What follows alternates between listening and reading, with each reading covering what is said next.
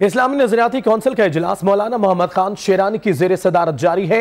इजलास में कुरान मजीद को तालीमी निज़ाम में लाजमी करार देने, हकूक नस्वा और चाइल्ड प्रोटेक्शन से मुतलिक अमूर पर गौर होगा। जानते हैं, गौहर महसूद से। गौर महसूद तफसीत से आगाह कीजिए, इजलास का एजेंडा क्या है?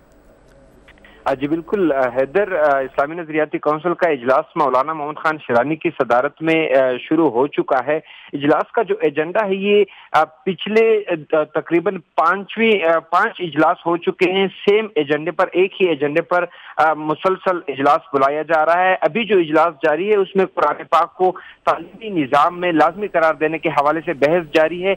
तहम ये भी बताया गया है जरा ने कि जो इजलास में खातन बिल के हवाले से बहस होगी, वो भी आज मुकम्मल करनी है और इसके साथ साथ चाइल्ड प्रोटेक्शन पर भी बहस मुकम्मल करनी होगी। इस, इस इजलास में जो तीन रोजा इजलास चलनी है।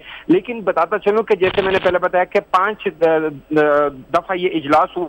इसी इजलास में यही एजेंडा होता है इसी बहस होती है जिसके मुताबिक ये जराए बता रहे हैं कि इजलास के जो मेम्बरान हैं इस्लामी नजरियाती कौंसिल के उनकी जो इसमें इंटरेस्ट है उसकी जो दिलचस्पी है उसकी अदम दिलचस्पी की वजह से अभी एजेंडे में जो चीज़ें शामिल जी ठीक है। शुक्रिया गौहर महसूद।